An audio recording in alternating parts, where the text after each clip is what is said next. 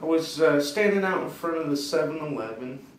I guess uh, somebody called the police, maybe somebody prior to that, uh, you know, before I got there, had maybe tried to shoplift or something. I don't know exactly why they were called.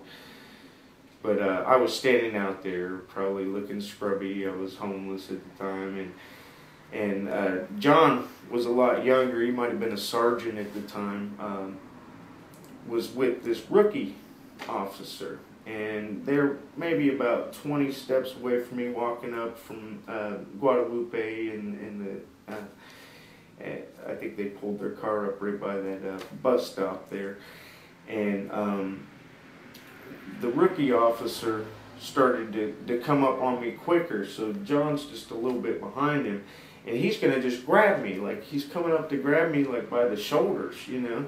And I just out of instinct, I'm thinking defend myself. I'm not being arrested. I'm, I, you know, I've done nothing wrong. I've got no warrants. I know this, you know.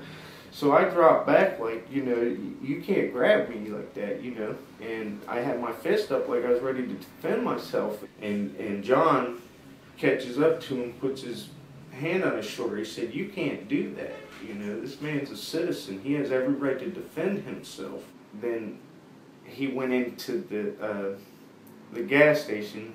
Asked me just to wait there. Went in the gas station, I guess, to talk to the attendant at, at the cash register, and came out and said, "You know, you're free to go. You know, whoever was being called on, you're not the suspect." So, you know, at that point, I, I really felt like John restored my faith with the police at that point.